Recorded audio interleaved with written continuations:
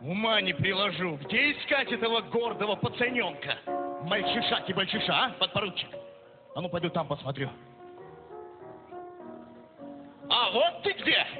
Всю войну здесь просидел, а? Ну, говори, мальчишки-мальчиш, как звать тебя?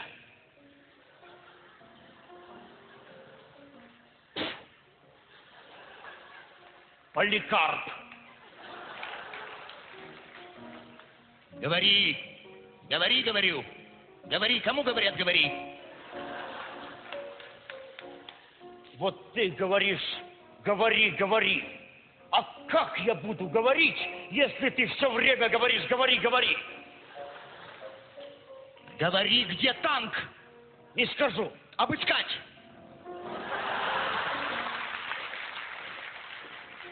Ты что ж думаешь, морда пелопузая? Своими грязными кулачонками храброе сердце кибачуша взять? Никогда, ты слышишь? Никогда, та-та! А вот так? Глупец.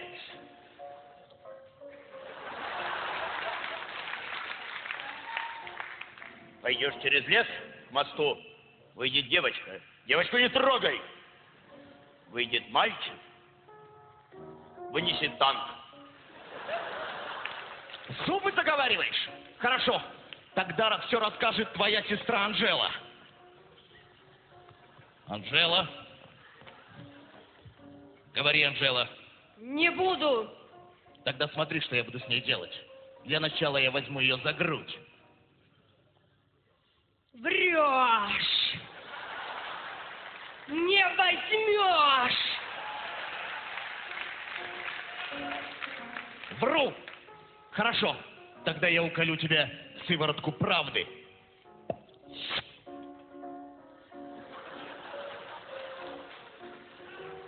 И мне?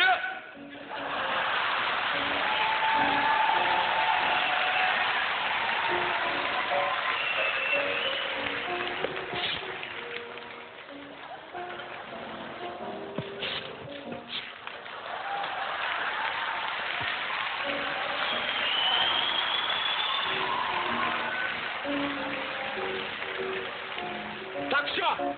Мне надоело. В молчанку будем играть? Хорошо, тогда заговорит ваш продвинутый дядя Никитка. Узнаете своего дядю? Нет, что вы с ним сделали? Говори, Никитка. Ну, пеняй на себя. Еще. Еще. Еще. Все. Говори! Говори, Никитка!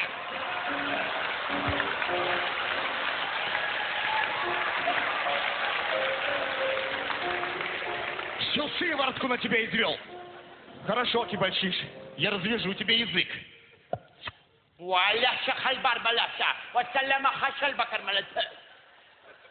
Вот как ты заговорил. Еще.